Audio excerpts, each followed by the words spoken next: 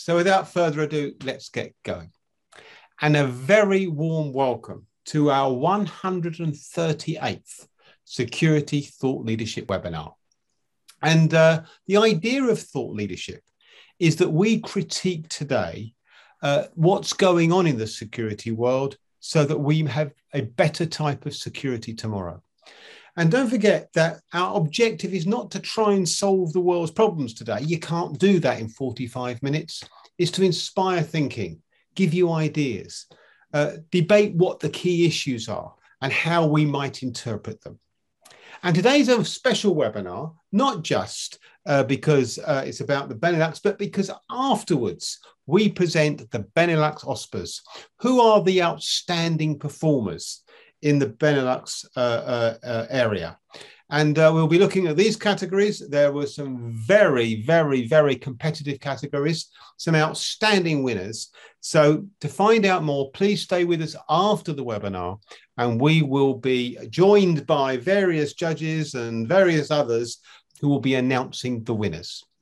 First of all, though, let's get back to today's topic, security in the Benelux. What are the barriers to progress and how can they be overcome?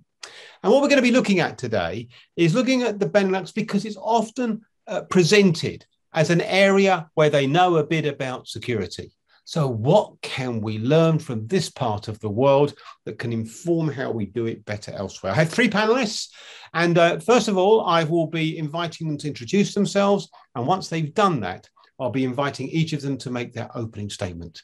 So, once again, let's go and meet our panelists for the 138th time. Uh, first of all, starting off with Filip. Filip, please introduce yourself. Hi, uh, Professor. Thank you uh, for having me on this special occasion. Uh, my name is Filip Smeets. I'm working now 12 years in a guarding company, now for SERIS Belgium, where I've been active in, at operational level and now uh, leading the training uh, institution. Ah, very, very good. Thank you very much indeed, Philippe. And uh, over to Nelly. Hello, so uh, my name is Nele Eykens. I am a criminologist and I already work about 20 years in various roles in the private security business. And currently I work as a corporate security manager at Umicore um, and I'm also the chapter chair of the Benelux chapter of ASIS International. Thank you very much indeed. And finally to Peter. Peter, please introduce yourself. Yes, good afternoon, Martin, and thank you for the invitation for today's webinar. Uh, my name is Pieter Leloup. Um, I'm a researcher at the Department of Criminology at Ghent University in Belgium. And the principal focus of my work has been on uh, historical and long-term patterns of private security provision and changing relationships between state and private security actors in Belgium. Peter, thank you very much indeed. Um, um, so, what we're going to do then is we're now going to invite each of our panelists to make an opening statement. Uh, while they do, you may want to consider getting your a question in using the question and answer button at the bottom of your screen. Now, um, clearly, this is about the Benelux. We've already got a question in from uh, uh, Matthew over in the United States. There are people on this webinar from as far as Asia, Canada, uh, uh, um, and Africa. So uh, don't be inhibited from asking a question. Uh, use the question answer button at the bottom of your screen. And of course, there's the chat if you want to chat to one another while our panelists are speaking. Without further ado, then, let's go back to Filip. And Filip, your opening statement, please. Yes, well, uh, Professor, I think uh, for me, there are three key strategic weaknesses which I want to uh, mention. First of all, as we all know in Belgium, we have a very comprehensive set of regulations. And this has led for sure to the professionalism and high quality standards of security professionals nowadays. However, this also leads to structural problems. So if you look to the market structure, we can see that the devil's in the tail. Small firms sometimes flout the rules. Little firms trying to survive take on their battles with the other companies by raising too low prices on the market we have to be aware for that, that we don't get involved in a race to the bottom. And the long term is bad for clients and the sector in uh, general. At the same time, we see that during crises, crises of all kinds, we see that on the demand side, many unaware customers who in their need for a quick solution fall back on non-regulated security firms or sometimes so-called voluntary uh, organizations. For example, during the pandemic, for example, many retail organizations relied on steward companies while actually doing security tasks. And the third point is that the turnover stays too high. This has multiple reasons for which many has nothing to do with the work we do or the company they work for, but we have to keep focus on, on occupational safety and well-being of our security officers. Therefore, I'm a great supporter of more leadership skills, soft skills for first-line supervisors for the security teams, and of course, uh, more regulated protection for when security guards get uh, violated. Fantastic. Filip, thank you very much indeed. Some interesting thoughts, plenty of us to come back onto. Um, uh, we do seem to see uh, uh, your part of the world is good at regulation, and that has cropped up quite a bit. So I'm sure we'll come back to that. Nile, let's go to you and your opening statement, please. Yes, thank you, Martin. I actually have two points I want to address when we talk about the quality of our security professionals. Um, I think the first one will not be a surprise for you. Um, we we surely have to keep on working on the qualitative uh, security management training. Um, but I think it's really important that we focus that it's accessible for youngsters, people that want to make career change, but also people that are already in the security business today and that want to evolve in their role. Luckily, of course, we have the certification programs that fill that gap, but um, somehow I have uh, the impression that still today, inside the, um, the Benelux, these certifications are not always as much valued as they are they, they deserve. Um, and then the second point, it's probably a long shot, but I think it will be definitely in the long run uh, very beneficial uh, for us as security professionals because many of us are, are doing a great job. But I was wondering, why is it that in a lot of businesses, security remains an unknown topic? And according to me, it is because our profession is not known to the vast majority of our stakeholders. I'm talking about HR, legal, uh, health and safety, facilities, finance. And therefore, I really plead that security gets the place it deserves, but by giving it like a basic security module in any of these trainings. And I think it would increase enormously the visibility of our profession and what it would mean to all of these stakeholders and it will definitely also attract qualitative individuals inside our network. So in the long run, I think the second one is definitely key. Hey, thank you very much indeed. Uh, interesting point, and uh, definitely something we'll come back to. Just to say to the audience, don't forget, you can get in your question using the question and answer button at the bottom of your screen. Don't forget to get your questions in early, and we'll endeavour to incorporate it into the ensuing discussion. Uh, let's go then to our third panelist and get a few thoughts from Peter about this topic. Peter, your thoughts, please. Thanks, Mark. Um, well, today's topics of, of the webinar is how certain barriers can be overcome to progress to a better security industry, um, which I understand as better for the private security sector, but of course also for its clients, uh, its state and non-state partners, the wider public and security in general. Uh, and therefore, I would like to focus on three elements which seem crucial to me from a certain, maybe outsider perspective, because given the fact that I'm not a representative of the industry itself, but I have done some research on private security in recent years. Um, and of course, other, other elements can be identified, identified as well, uh, but I will just stick to three important and interlinked ways which I think are needed uh, to achieve a better operating industry. Uh, first, there should be a clear legislative framework that explicitly includes um, and, and, recognizes the existing um, security actors yeah, and the variety and the range among them. Too often, the private security industry is defined as one group, and we all know, however, that it contains a wide range of industry, larger and small businesses and companies, um, all of which are involved in security provision. But as research has shown, um, these different segments of what was often seen as one industry uh, differs from each other in terms of, of, activities, structures, daily operations, um, authorities, and so on. Um, and I believe that if some segments of the security industry are regulated or strictly strictly regulated, uh, while others aren't, um, that an industry can emerge that evolves and professionalizes at different speeds, uh, and this should be avoided. The second statement here is that, and this partly follows from the first, is that there should be given attention to aligning several vital aspects of private security, such as the training of personnel and the management, uh, norms and standards within the sector, and so on.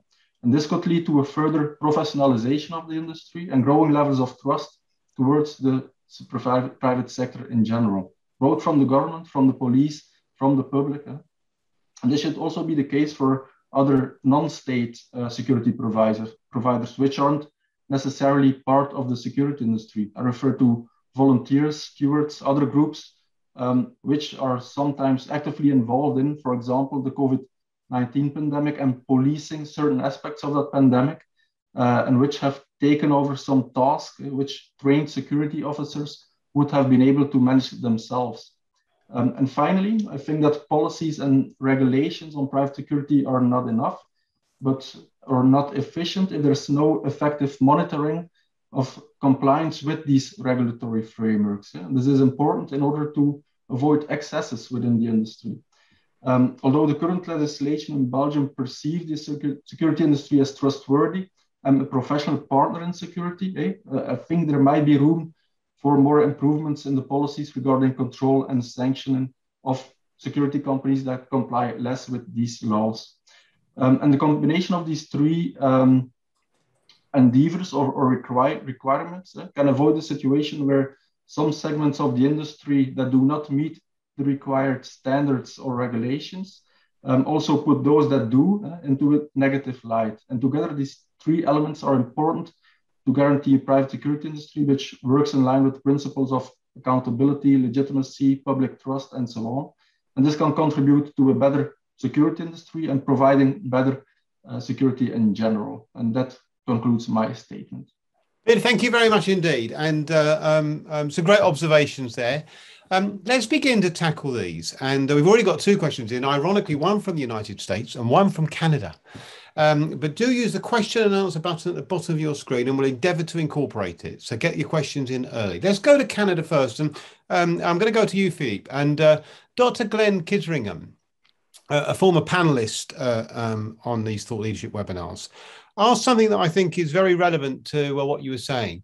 What prevents, what barriers are in place that are preventing an increase in legislative training, improved training? In other words, it seems quite logical that we should get some legislation behind the requirement to train it. It sounds obvious. What's the barrier to doing that? No, no, I'll come to you afterwards if I might.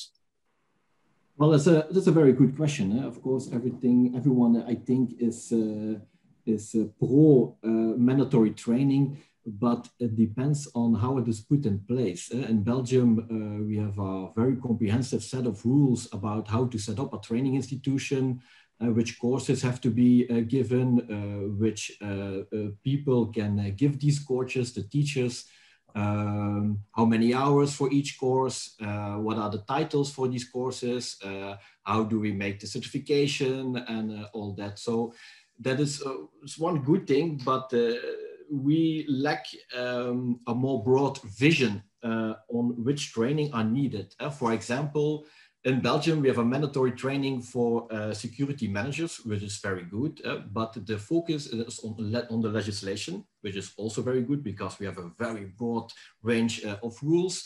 But then we also have a lot of courses which go about ethics, that's very good, and about uh, risk analysis and so further. But we have no course which helps the security managers for example, like Neil said, to put security in place in the company, to sell security to the other departments, to, um, to uh, improve the soft skills that these people have, to manage a team, to manage a company. These are, I think, uh, skills that are not uh, given by our training institutions at this moment because we have a big focus on the mandatory uh, trainings uh, at this time. Yeah, thank you very much indeed. Nina, do you agree with that? I mean, uh, what's your take on this? Yes, um, actually, everything that is regulated, as uh, Philippe mentions, it's it's uh, really put in a in a in a framework that is really very strict. Um, but everything that comes um, on top of that, the real security management, that is something that we that we lack in a way, and what we also are like I mentioned, the certifications that we have, they are definitely present. But of course, if I refer to the ASIS certification, it's um, it's not that the Belgian um, authority or a Dutch authority is going to say, okay, if you have an American based certification, um, this is good for us because it's in another language. It's not in Dutch, in French, or in German. Those are, of course, the, the official languages in Belgium. So it's really difficult to sell this to, um, to the authorities, even though the certifications or other um, trainings are really good. So um, that makes it difficult to have really this um, this um, how how can I say it? The authorities to actually really say, okay, this is this is a good training. No, it seems that then a whole new training needs to be elaborated, and it's then not on security management. It's more specific on guarding, for instance, um, or, or, or private detectives, or or really specific uh, things in the security profession, which are these are also very important, of course, but this really security management like security inside the company what what i'm doing day in day out this is not something that you can just take off the shelf um, uh, easily. So this is this is something that we we can still work on. Yeah okay. I mean uh, peter in your opening statement you did mention aligning uh, the security into training with standards and uh, help professionalism you were arguing. Um, when i heard you say that i thought good point What's the reason why that isn't happening? Well, uh, from my perspective, I believe that training can be a key element to increase the everyday's um, practical operations of security of uh, personnel as frontline workers. Uh, but also um, to increase them being viewed as professional. Eh? Although, although I'm convinced that uh, the training of security officers has increased a lot, uh, and the training requirements has, have increased a lot uh, the last the past few decades. Um, there probably is still some room for improvements. Huh? Um, training can be important, of course, as, to guarantee delivering quality for, but also for sustainable uh, employment, for example. I, I, guess Philippe already referred to it, uh, and or Nele in her, her um, statement. Um, it can upgrade the profession and how it is perceived, uh, certainly when placed in relation to the selection and the training of public police officers in Belgium, for example. Um, and too often, I guess, security officers are still seen as um, those who weren't selected to become a police officer. Um, on the other hand, this, this might also be a concern that the security industry provides job opportunities for groups within society which not always find work very easily. Um, and if the training of security agents become more difficult, more rigorous, um, to decrease differences with the public police, for example, um, to achieve more policing powers, um, we should ask the question, of course, that how can this be reconciled with attracting those maybe disadvantaged groups within society that could become now more easily uh, security officers? And the risk exists that they will be less motivated for more demanding training courses. Um, also, in the case of in-house security services, for example, growing demands uh, and the cost of growing cost of the training can be more difficult to maintain than for a private security company. Um, that said, I do believe that an increased, um, I, I, don't want to uh, further uh, academize the training of security officers, but I do believe that increasing the quality of the training uh, and the program can offer some um, incentives for further professionalization. It can offer additional career perspectives, decrease the high turnover to which Phil, uh, to which Filip mentioned um, or, referred to in his statement, uh, and so on. Um, and this is also something that has that is often forgotten in the debate re regarding uh, training. Um, I guess this is also needed for the management, not just for the security officers who work at the front line, also towards the management, there can be improvements in their training. Eh? Mistakes at higher levels will not always be eh, more will not always be made deliberately. Eh? Yet training in deontology, uh, people's management, leadership skills eh, can be certainly useful as well, I guess, for more the management levels. Okay, Peter, thank you very much indeed. Uh, I'm sure we're going to pick up on that in rather different ways. Let me move on because I want to try and incorporate more questions. Philippe, Question here from uh, Matthew Porcelli, who's from the United States, former panelist, in fact. Uh, and um, this point about how we get respect for the frontline worker. And I suppose uh, I'd be interested to ask you then, Nelly, a, a, general question about how we do it.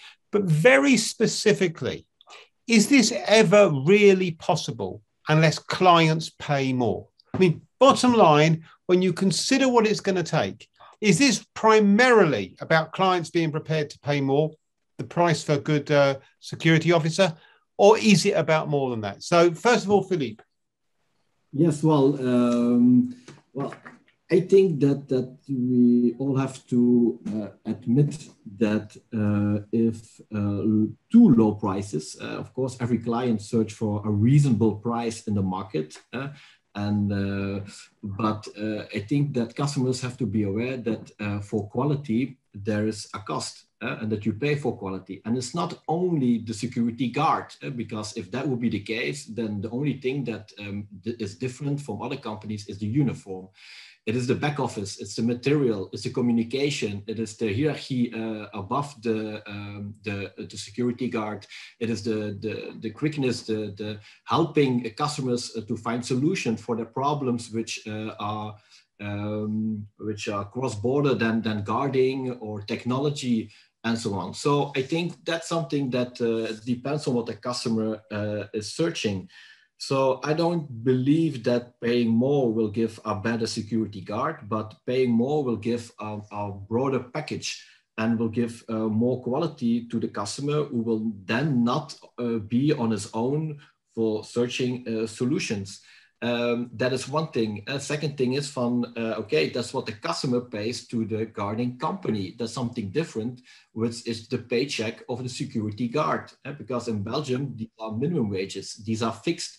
Every security company pays for uh, pays uh, the same paycheck for the security guard. So uh, it all depends on the tasks that is um, discussed with the client. Uh, we have different levels. For example, we have SB, SQ. SB is security static, basic, and SQ is for quality. That means that the, the tasks which are demanded by the client are more profound. And this means that the uh, security guard is paid uh, more. Okay, interesting. Thank you very much indeed. Nile, let's come to you. I mean, uh, there is this sense, isn't there, that around the world, and this has cropped up on many of our webinars, we need to get a different sort of thinking about the frontline worker in particular, because it's the visible sign by which people see security. And yet, it's difficult to imagine, some people argue, if clients don't pay more, it just isn't going to happen.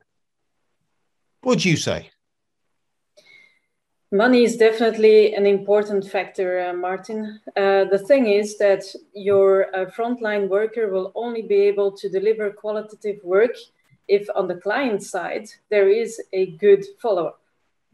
And whenever the frontline worker is delivering a report uh, about an incident or, or, um, or something that happened, and there is no feedback, there is no follow-up from the customer, the client, in my instance, for instance, the, the security manager on, on the spot or the local security person, then your quality will never go up. It will go stay the same or go uh, down the drain. It's for me actually a partnership. It's only when both are working towards the same goal that you will get a good uh, responsibility um, uh, and accountability. I, I, cannot really use the word accountability for the frontline worker, but what I'm saying is the person that will be at your uh, at the door, he will feel really responsible for the tasks that he is performing because he knows that the customer in the back will be there whenever it's necessary. And I think that's the key role. Security guards, are our front line is so important um, in many aspects. And as a customer, you need to uh, acknowledge that and make time to, to uh, build that quality. And yes, money is important, uh, I have uh, an example like that in Poland, for instance. We we wanted to really increase uh, the money, I mean, the paycheck uh, of our security guards, but it wasn't allowed by um, uh, the law at that time. So it was really important. Uh, it was really difficult to find the right people. But once we were able to give uh, another um, incentive, then it went better and we got the right people. So it is definitely something that goes hand in hand. So I think this is really important. Okay, thank you very much indeed. I mean, it's slightly positive not to think about this just in financial terms, um, uh, if we can. Thank you. Okay, uh, um, um, let me come to you, Peter, if I might. And I want to pick you up on one of the first things you spoke about uh, in terms of regulation. And uh, Danielle Dejean has asked about the different legislative regimes in different countries, in the Benelux to start with, but indeed around Europe. And I wonder whether, Peter, that um, therein rests our problem.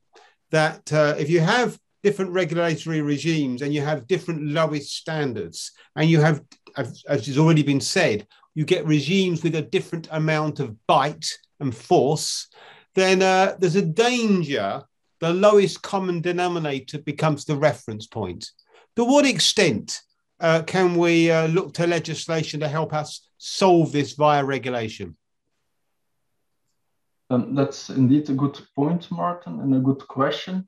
Um, I, I, believe that it's not only at um, an EU, EU level, at the level of the European Union, for example, where different legislations exist, but also if you take a look at Belgium, for example, and how the private security industry in Belgium is regulated, um, you could see that there are also some weaknesses within this regulation, and that is not it's not always up to date. Eh? For example, um, a couple of years ago in 2017, the most visible part of the private security industry received this new re- regulation with the law of 2 October of uh, two, 2017 on private security. Um, however, this has not been the case for private detectives, for example, or the fraud investigation um, sector. Eh? Um, there is legislation on these segments of the private security industry with law of um, 19th of July 1991 on private detectives. But since then, since 30 years, very little has changed or actually changed in this specific legislation since then.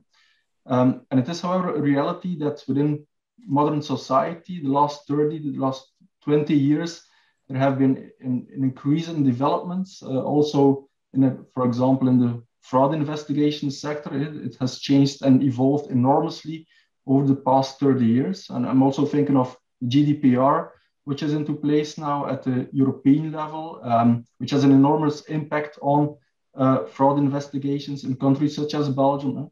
I'm thinking of new technologies regarding big data analysis, fraud detection systems.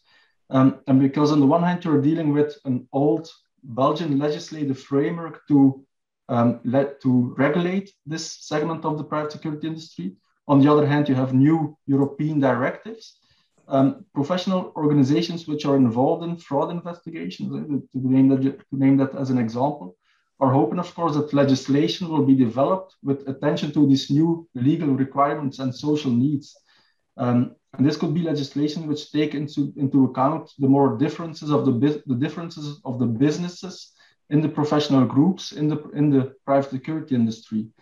Um, for example, conducting fraud investigations requires different or different um, or specific qualifications. Uh, financial techn- technical accounting analysis and so on uh, than those that private detectives or security officers in general must have. And a law should take this into account. Otherwise, you can have what I mentioned, uh, a, regulation or segment, different segments of the private security industry, which evolve at a different phase, at a different speed. Um, and, and, and this is important, of course, because I believe that a strong legal framework not only benefits private providers, eh, but also better security to the clients eh, who, for example, eh, wants an, an, investigation on, into established irregularities. Uh, reports of fraud can be better followed and fraudsters can be legally prosecuted. And this will also be a good um, thing, I guess, for the government who has um, who can see in the fraud investigation sector, this is my example, who can see it as a partner to, um, to tackle fraud. Um, but I think there is more room for a better legislation on different segments of the private security industry. And this is something that should be achieved in Belgium. I have less experience with other countries, of course.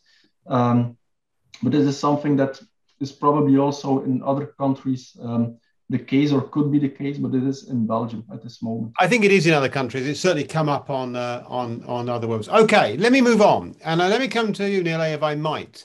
Uh, um, and a question I was going to ask actually when um, when uh, you were speaking, it's for, uh, from uh, Jerome Harmson, uh, and he's got a question about your point about um, getting more involvement via other stakeholders in the business. And um, security specific modules on their training sounds a great idea. In fact, it sounds the perfect solution. But how are we going to get them interested in this? Um, because you can see why, if you're a chief executive, you need to know about uh, finance and human resources and uh, uh, uh, uh operations, even because uh, they're seen as central.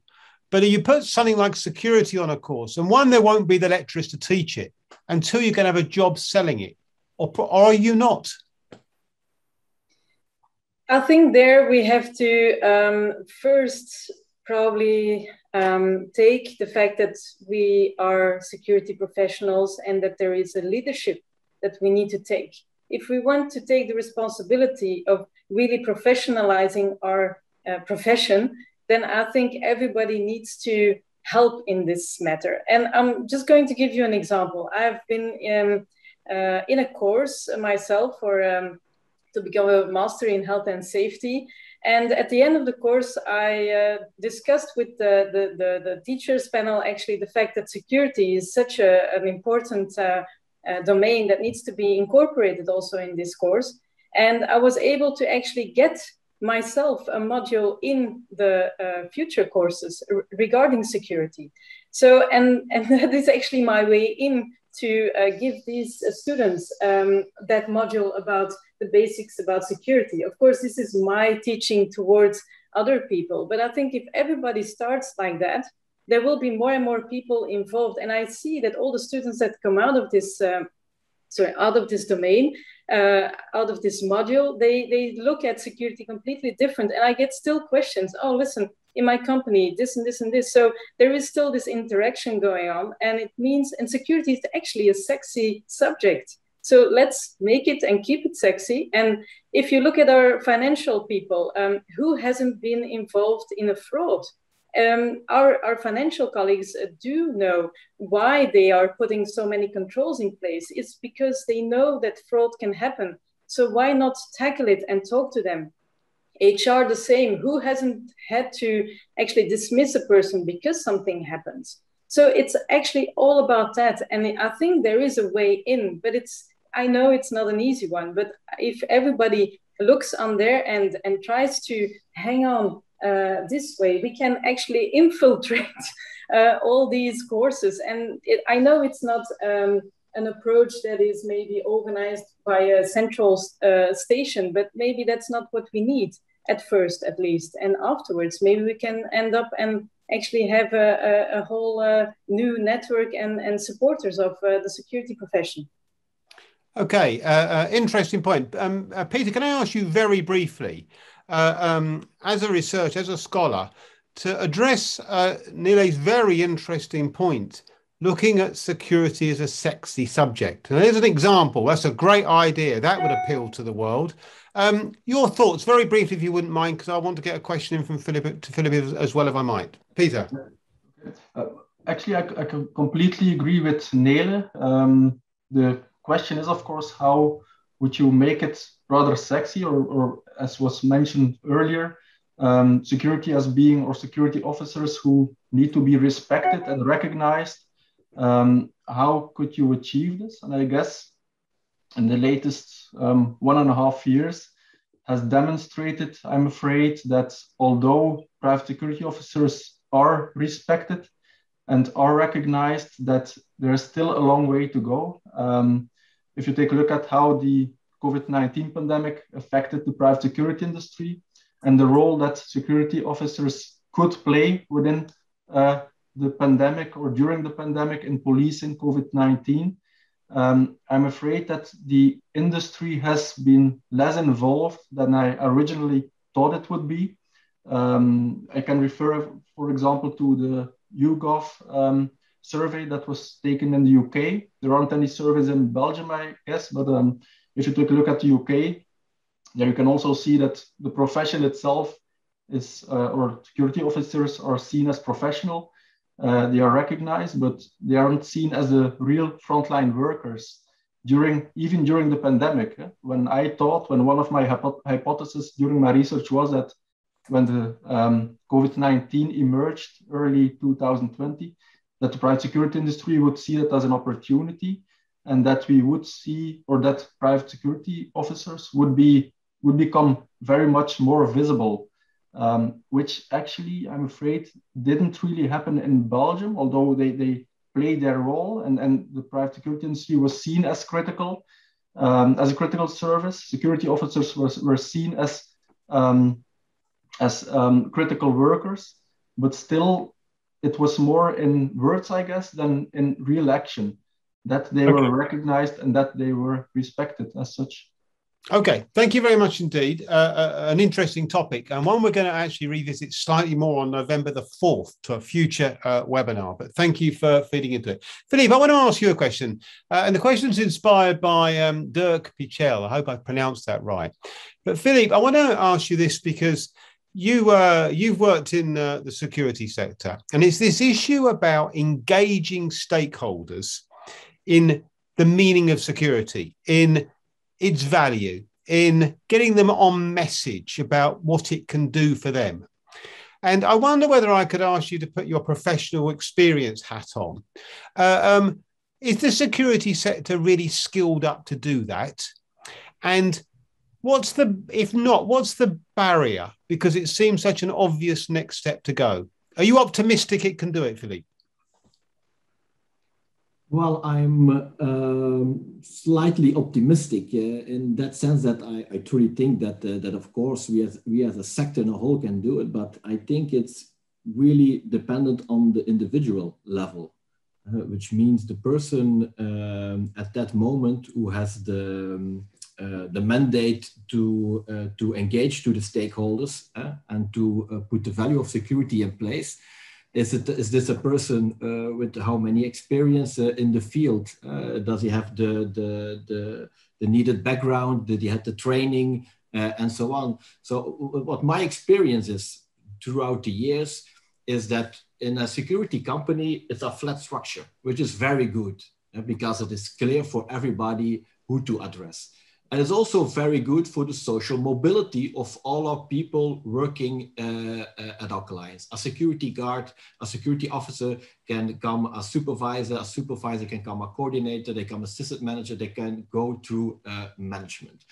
The problem there, I think, is that we are not always uh, taking the time to be sure that this person who are, is uh, going up the social uh, ladder, that he has all the skills in place. In Belgium, and I speak in Belgium, is that we are too focused on all the mandatory trainings that someone has to have before he can uh, do the job. And I think that it has to be uh, the other uh, uh other way around, and that is focus on the skills which are needed to talk to the clients, to uh, the, do defend uh, security, to make security sexy, like Nele says, and then focus on these all these mandatory uh, trainings.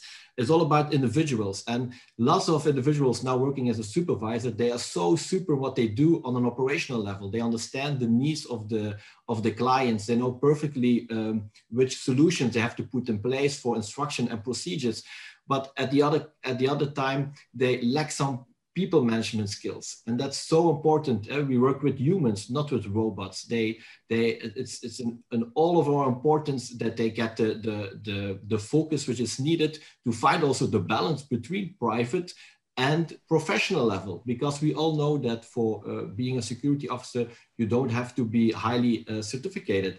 So this means that we work with lots of people who have some uh, private issues uh, which are divorced or, or, or, things like that. And we have to um, take uh, uh, take that into account. And that asks very very high levels of people management from all our supervisors and people in the hierarchy so I think, of course, we are capable to do that, but we uh, don't have to, uh, but we have to keep the focus on the welfare and well-being of all our people in that flat structure. And that only, and then we can overcome all these uh, issues, uh, I think. So I'm slightly optimistic. Well, that's encouraging. Uh, Nele, I'm just going to ask you very briefly uh, about the same topic. There's uh, and Grant's directed a question at you. But um, I guess I've got this same point, isn't it? About one, are you optimistic? And uh, uh, two, um, if you what would you put as headline needs to change for things to be better? Uh, Nele? Um, optimistic. I'm. I'm always optimistic. Otherwise, um, why would you continue? Isn't it? Um, I believe that there is a very, very slow increase in the whole matter. What I'm saying is it should go much faster. I don't have the impression that we are really, if I look back 20 years ago, I don't see that many things that changed. Um, maybe I don't have the whole spectrum, but it's it seems like we are not really progressing in that sense. Or let me put it differently, I would like to see us progress much faster. Um, so in that sense, and I feel that a lot of uh, colleagues um, do feel the same, um, but again, it's the perception of the security profession that hasn't really changed. And that's the reason why I was thinking of in, indeed making more noise on uh, the side of the stakeholders, because it seems that we can't do it ourselves. And it, it's, it's obvious, it's logical in a way. You can't change something if you have to if you stay in your own backyard. And i think that's what we need to be doing. Go abroad. And we are making these alliances uh, already um, talking with um, uh, risk management and and, and other uh, stakeholders. But um, it, it hasn't been that long. So i think we have to really step up in in that uh, part. And then we will definitely uh, be seeing some change and increase in our um, in our quality of, of our security profession and, and everything that goes with it. Okay, thank you. We're nearly running out of time. We've got the uh, presentation of the Benelux OSPAs coming up straight after this session. Um, but I want to, one of the great things about being in my position, as opposed to being a panelist, is you can ask ridiculously unfair questions. And so what I'm going to do is right at the very end, uh, um, just in 30 seconds, no more because we're running out of time, if you wouldn't mind, ask each of you this. I get the point about selling the security sector better. On a strategic level, what is the single most important thing that needs to happen, needs to change, that will bring about a better impression of the security sector?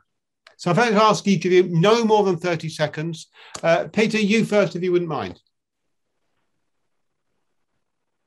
No, I don't mind, I don't think it's a ridiculous question. Um, from my perspective, I think that uh, it would be good that in the near future that um, both sectors, the academy, academic world and the security industry, would um, try to help each other without in instrumentalizing each other, uh, without using each other for a certain purpose. But I guess that, uh, given the debate of today, for example, that it could be very useful to have more not only fundamental research on private security, but also research on the practice, practices and, and everyday operations of, for example, security officers yeah, as, as frontline workers. Um, so I guess it's maybe not a strategic goal from that happens from within the security industry. It's also something that we as scholars need to do. But I guess that it could be a more close cooperation between academia and the security industry also to make it more professional, but also to change some of the rather negative perceptions that that currently still exist exist uh, regarding private security. Okay, thank you very much indeed, and totally agree with as another as a fellow researcher, Pieter. We need more research. Just by the way, on November the fourth, we have a webinar based on latest research on the Frontline Security Officer, a worldwide survey, November the 4th.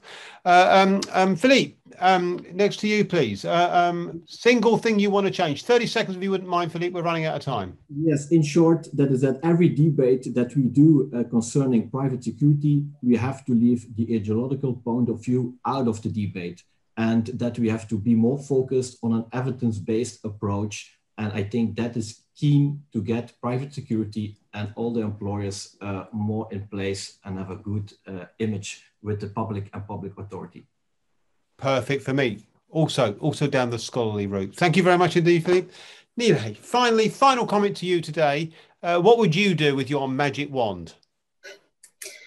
I believe that um, indeed everything is based on uh, respect, and that is a very a soft skill uh, that we need all of us to um, to actually adhere to. And uh, for, for our frontline workers, but any level in the security profession, but also outside. And again, I mentioned about what the customer needs to do uh, on his side. It's equally important than what actually the service provider is doing on his side. And I think it can only work um, if it's in collaboration. So that's my end statement.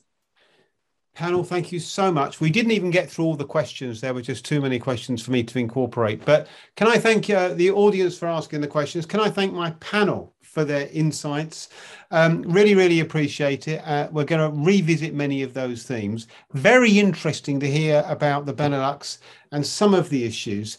And uh, in some ways, uh, um, while there's no comfort in uh, anywhere facing issues, it is interesting that even in the more developed um, um, or more sophisticated parts of the security sector, some of these traditional problems uh, still appear and are still to be tackled. So thank you very much indeed. And don't forget a copy of the webinar and the blog I will write about what they said will be on the uh, website tomorrow. Um, okay, just a few more comments from me, if I might. Uh, just to say to you that nominations are open still in the Norway, the UK and Ireland. Uh, uh, and uh, we we're opening New Zealand. New Zealand's about to come, so uh, do get ready if you're in New Zealand uh, um, uh, and you're listening to this later. New Zealand OSPA's about to open. okay, that's that. Thank you very much indeed. We at this point say thank you very much indeed to our panel.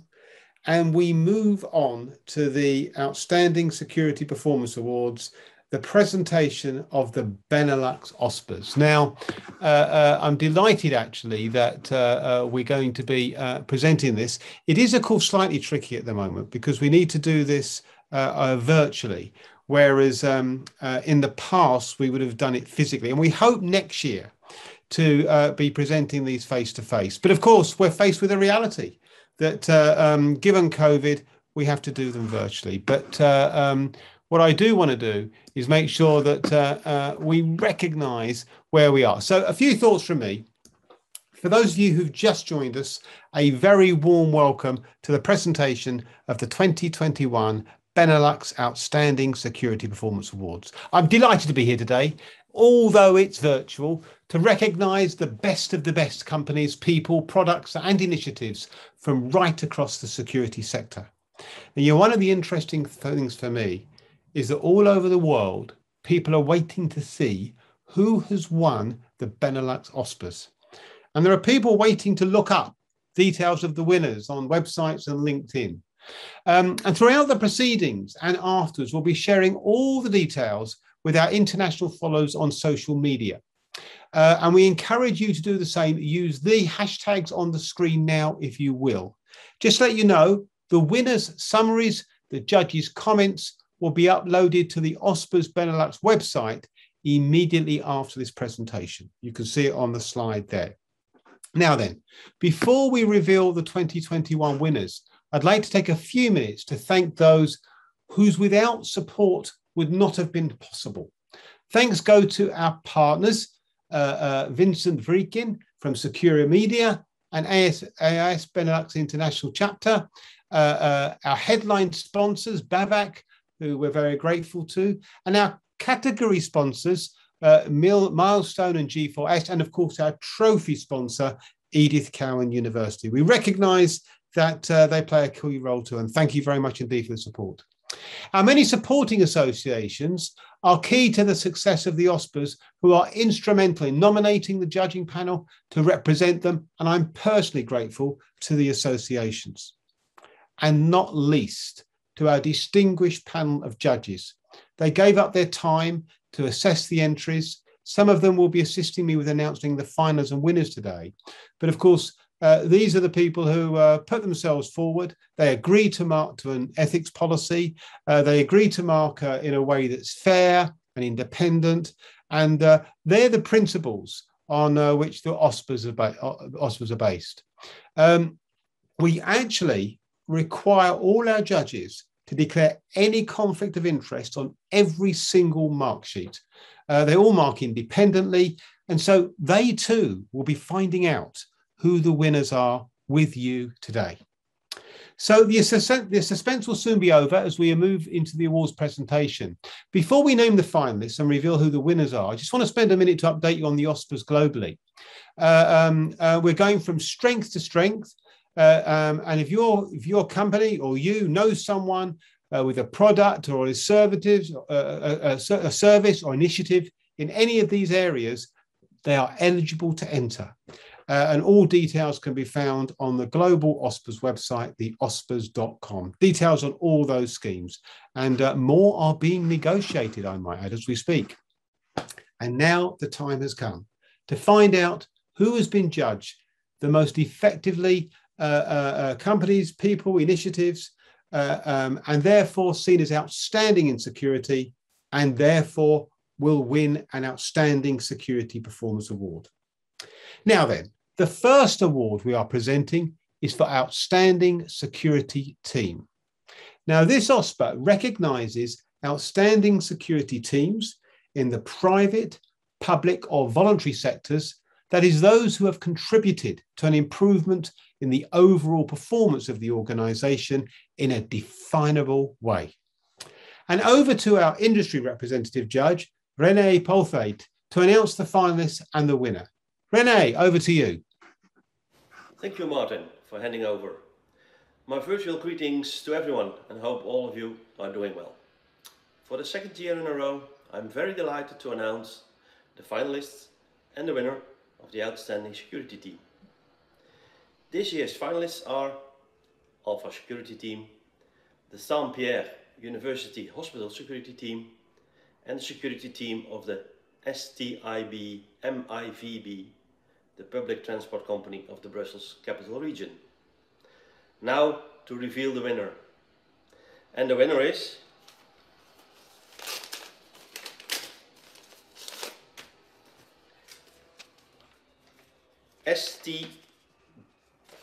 STIB MIVB security team. Congratulations and cheers!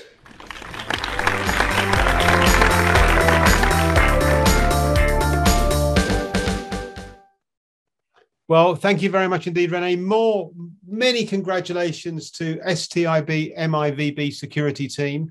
Uh, um, that is uh, an outstanding performance to win against very, very strong opposition. Don't forget the details will be available on the website afterwards. Um, thank you very much and well done. Let's move on to the next category, which is the Outstanding Security Consultant category. And we're very grateful to Milestone for um, sponsoring this. Let's tell you very briefly a little bit about Milestone.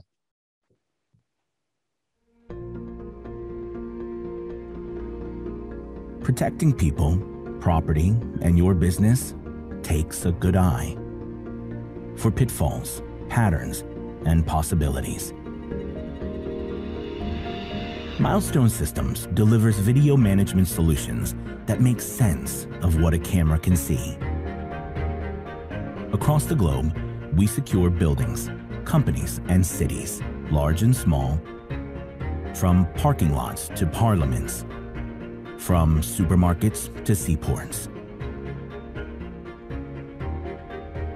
The Milestone community provides you with solutions, drawing attention to problem areas and opportunities to strengthen security, improve customer experiences, and reduce costs. With our open platform and technology partners, you get unsurpassed flexibility and freedom of choice in everything, from cameras to IoT sensors, to create a solution tailored to your plans and pain points. Your solution can go far beyond video and far beyond security in ways that make a difference for people, the environment, and your bottom line let's take a look at your world together.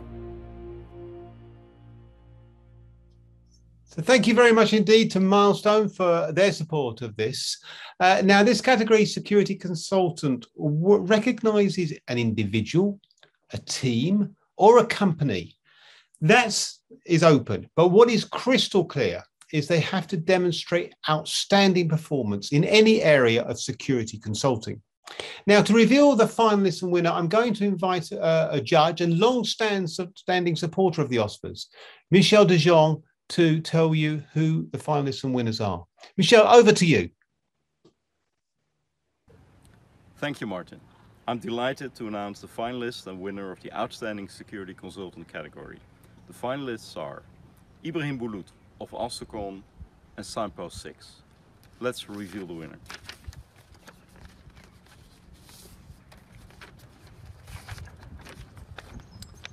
And the winner is Signpost 6.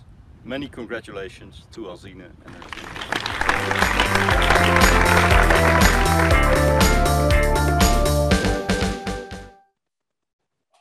Many congratulations to Signpost 6. Um, uh, these uh, these awards are difficult to win. Even to be a finalist, you have to reach a threshold uh, judged judged by the judges to be acceptable to be a finalist. So, uh, thank you very much indeed to uh, Michel Dejean for announcing that, and many congratulations to Signpost Six.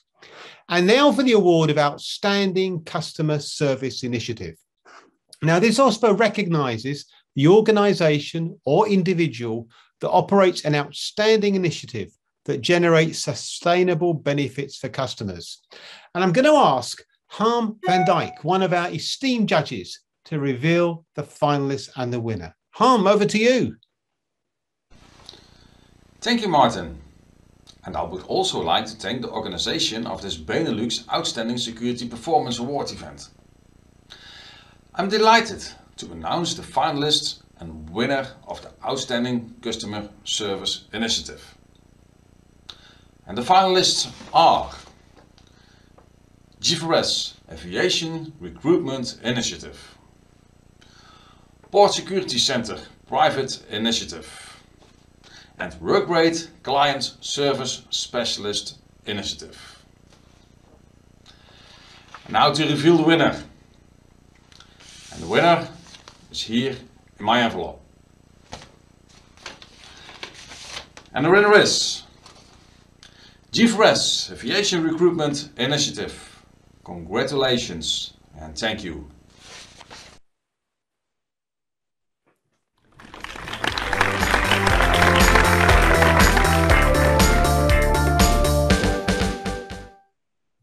Thank you very much indeed, Harm, and many congratulations to uh, this aviation recruitment initiative. Well done, G4S. Uh, um, another very competitive category, very competitive. Just to be a finalist is some achievement. Um, let's move on now to the outstanding new product category. And this recognizes an outstanding new security product that has been designed and implemented to improve any area of security practice and has been introduced to the Benelux security market in the last 12 months. Now, um, Vincent Vreeking is going to, to do the honor of announcing the finalist and winner. Uh, Vincent, uh, over to you. Thank you very much, Martin. I consider it as a great honor to announce the winner of the Benelux Outstanding Security Performance Awards in the category Outstanding New Security Product on behalf of our news platform beveiligingnieuws.nl that will spread the news under more than 26,000 security professionals in the Benelux. But first of all, I will announce which of the many entries made it to the three best security products of the moment. The finalists are PV App of Corporate Security Service of the Belgian Railways SNCB which allows Securail agents to draw up a report in accordance with the law and GDPR. The second one is TruckWatch from the Cargo Security Company that makes it possible to track highly valuable transports in real time. The third is Video from IronJohn, which is a very fast artificial intelligence platform for video analytics.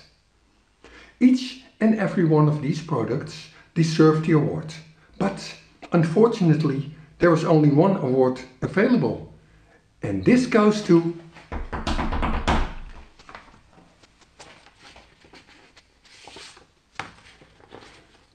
PV App of Corporate Security Service of SNCB. Congratulations on winning the Outstanding Security Performance Award in the Outstanding New Security Product category.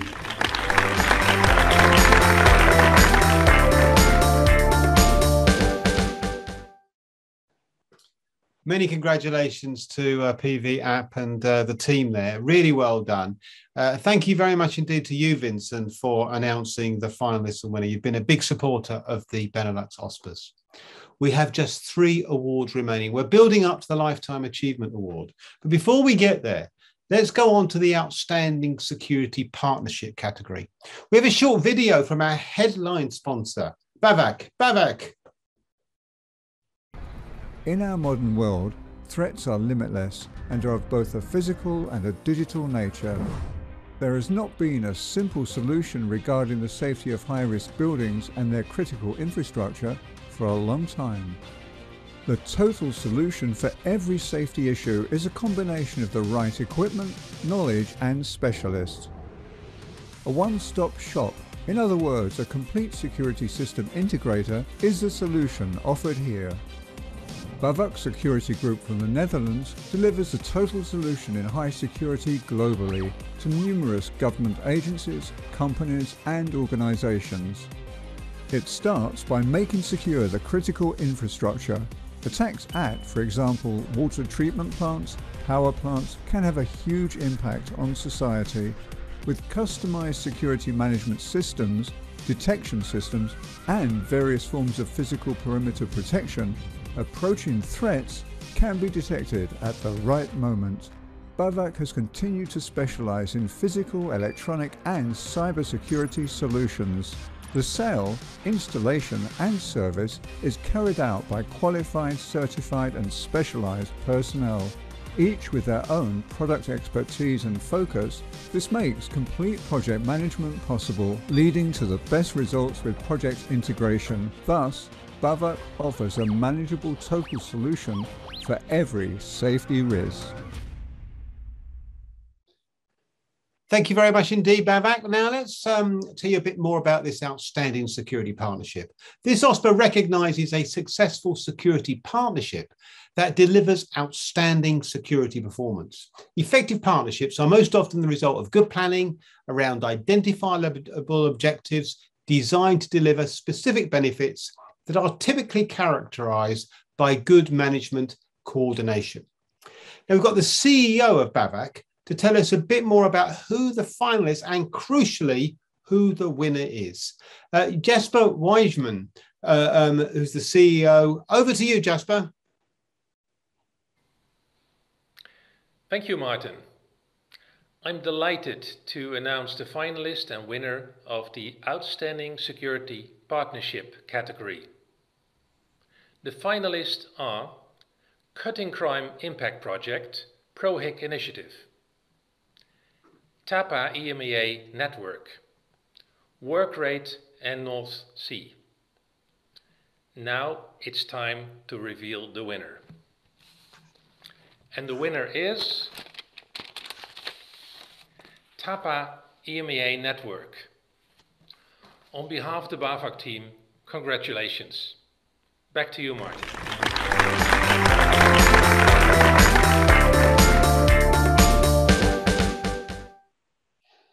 Well, many congratulations to, uh, to the, this initiative. Um, really, really good partnership.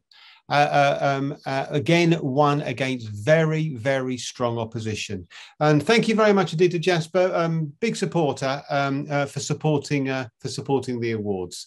well done. Now we've only got two left, and the penultimate one is the security professional under the age of 40 who has excelled and made an impact and is laying the foundation of an outstanding career in security, the outstanding young security professional. Uh, this is actually seen as quite a big uh, uh, award in many countries because it's the future of the security sector. Uh, and we're inviting another one of our distinguished judges to tell us who's been selected as the finalist, Ivan de Meismaker. Uh, Ivan, over to you. Thank you, Martin. Always nice to be here with you and to contribute to the OSPAs. This year, I have the pleasure of announcing the winners in the uh, category of Outstanding Young Security Professionals. And I'm especially happy to do that in that category because young professionals are extremely important uh, to EXA. Uh, from our side, uh, we are also launching some initiatives and I'm sure that you will be hearing more about that in uh, the short run. So, for this year, for the OSPAs uh, Young Security Professionals, we had two nominations. First one, Daniel de Jong from Bavak, and second one, Dylan Shaw from Uber. And the winner of this year is Dylan Shaw from Uber. So congratulations to you. And I would like to say to those who participated but were not, because of course there can be only one winner, uh, so who did not win, please remain active, contribute, uh, give the best of you because we are really counting on you. Thank you.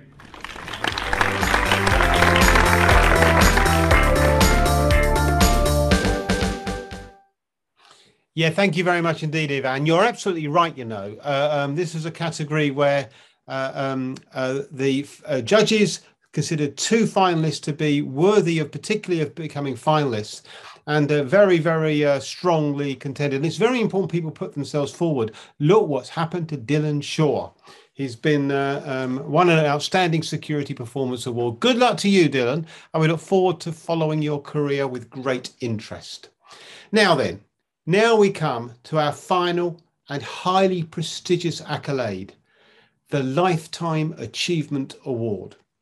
Now I'm going to hand over to G4S sponsors of this award to tell us about it and announce the winner. So uh, over first of all, then, well, just let's go to G4S. Tell us, please.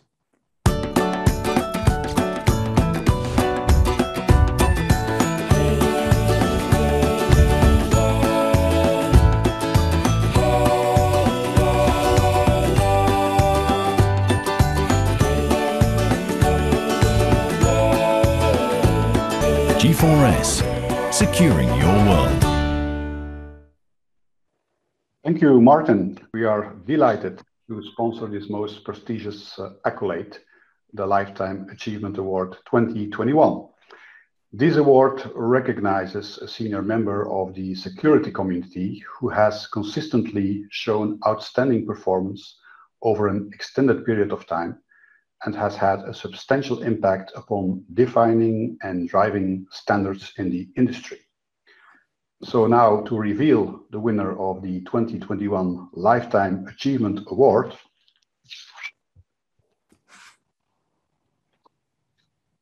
Piet Voorneveld, CSL. Congratulations, Piet.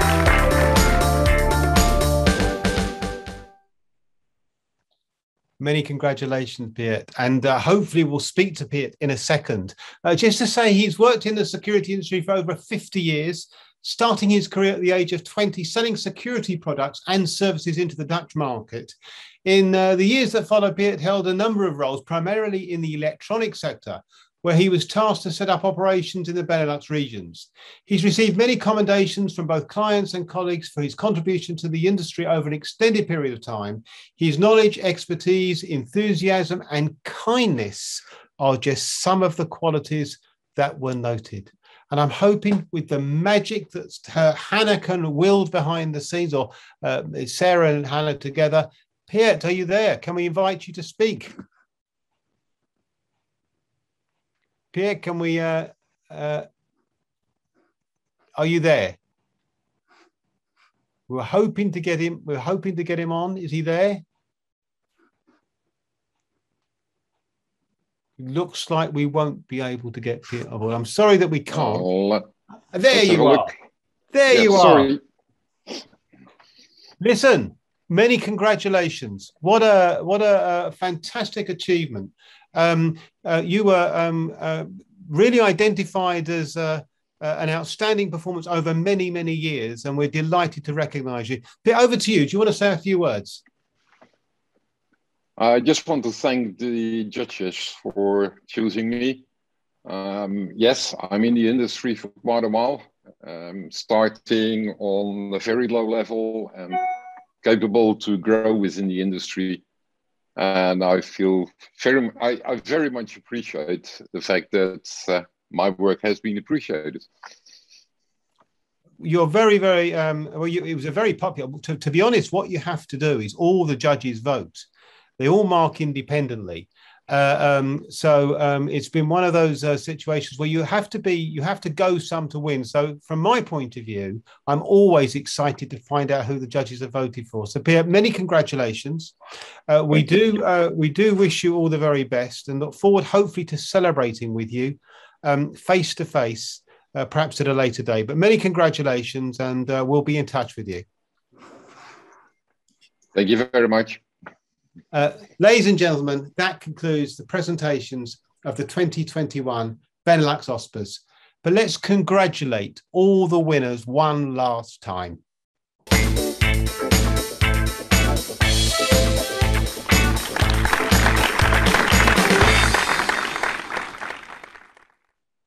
So uh, um, on the website, you can find summaries of all the winners. Uh, certificates and trophies will be forwarded to all the winners in due course. Uh, I just want to say a final thank you, if I might, to all those who contributed to the cer ceremony, our partners, our sponsors, our associations, and our judges for taking part. Uh, and we very much hope to see you in person next year. Just one final thing, if I might just want to thank my staff. Uh, Sarah and Christine were very much behind this. But today, uh, my colleague Hannah Miller it's her very last show. She's going on to do a master's, and um, um, that's going to be her main occupation. She's going to stay working with us, but uh, she's been with us for several years now. She's been a key part of our activities.